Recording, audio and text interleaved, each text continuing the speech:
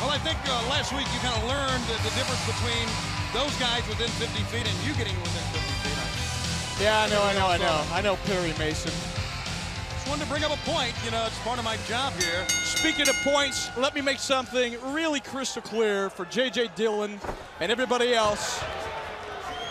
There is no way Sting is going to get a match with Hollywood Hogan, the world heavyweight champion. Number one, he hasn't wrestled in over a year.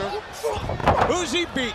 What gives him the right to challenge Hollywood Hogan for the world title? Look at that. This Japanese kid's a little beefy to be a cruiserweight, isn't he? Yuji Nagata, before he became a professional, one of the top amateurs in Japan, Eric, you know that. Oh, nice back leg round kick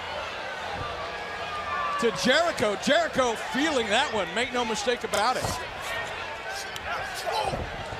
Somebody get that sign. Somebody in the truck that can hear my voice, get that Hogan Fears Sting sign off camera. Get it off now. Yeah, we don't need it. I think everyone knows it now by anyway.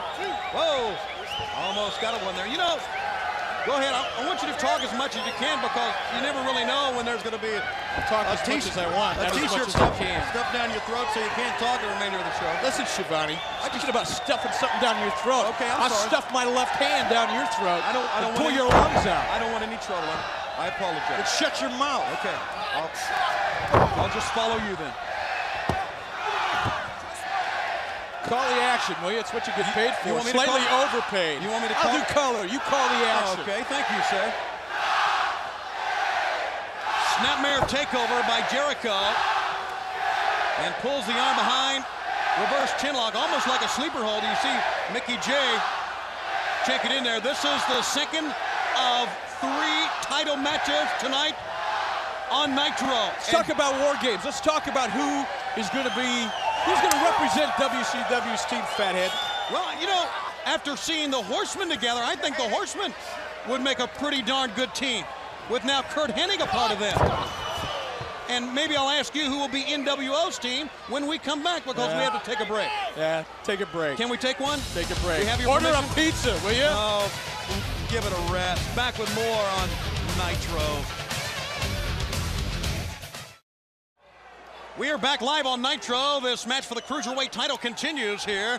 And I'm joined by Mr. Eric Bischoff. Nagata with a running tackle, sending Jericho down. It was one year ago at War Games. The NWO gets a big victory, and that really opens the door to the NWO getting a lot of stipulations, a lot of things going their way. Now let me let me let me touch on that. What it did, that win legitimatized NWO. It made us a separate entity. It gave us an opportunity to wrestle for a WCW world title at any time at any WCW sanctioned event. It also gave us an opportunity to have our own show. That opportunity, that obligation, something that Turner and the entire WCW organization has failed to come forward with, Schiavone.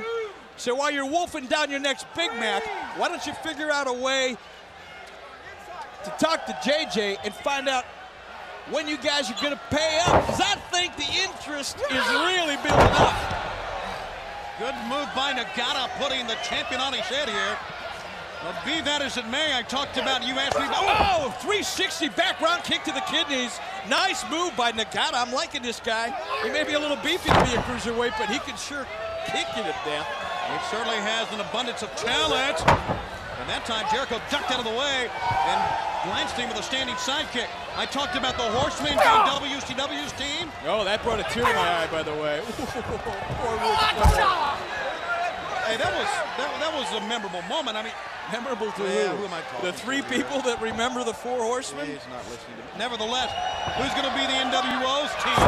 No, you left off with WCW's team. Let's talk about Team WCW. Looks like Lex Luger, Diamond Dallas Page, having a little bit of a difficult time trying to figure out what's what, who's who, and where we're going. Well, they, I would have to agree with that Can't one. I mean, stand up to the pressure, Schiavone.